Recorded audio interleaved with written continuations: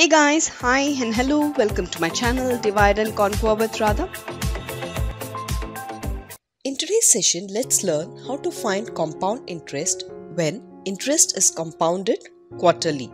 Sums related to interest compounded half yearly and annually are already available on my channel and the link is provided in the description below. Let's get started. Find the compound interest on rupees 20,000 at 12% per annum for 6 months compounded quarterly. Here, principal is equal to rupees 20,000, rate of interest is equal to 12%, time period is equal to 6 months, and interest is compounded quarterly. Remember, when interest is compounded quarterly, we need to divide the rate by 4 and multiply the time period by 4 because one year is divided into 4 quarters and one quarter is equal to 3 months. So let's first divide rate of interest by 4. So we get 3% per quarter.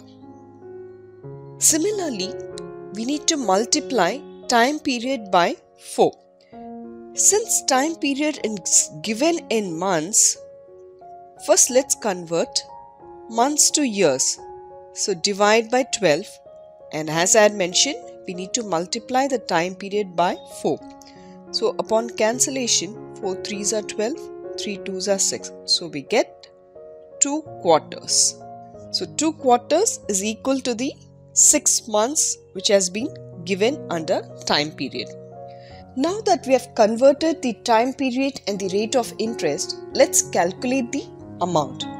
Amount is calculated using the formula P into 1 plus R by 100 whole power n. Upon substituting the corresponding values, we get principal is 20,000 into 1 plus 3 by 100 whole power 2.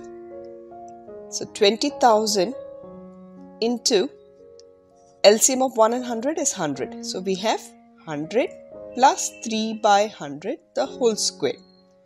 So we have 20,000 into 103 by 100 the whole square. Let's open it up.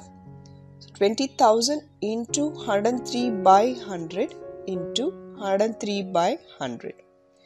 Cancel the zeros. So we have 2 into 103 into 103.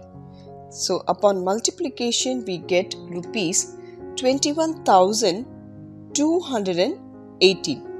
So amount is equal to rupees 21,218. To calculate the compound interest, we need to subtract principal from amount. So 21,218 minus 20,000. Upon subtracting, we get rupees 1218. Therefore, the required compound interest is equal to rupees 1218. I hope the sum is clear. Let's meet up with another interesting video. Till then, happy learning, stay safe, take care, and bye bye.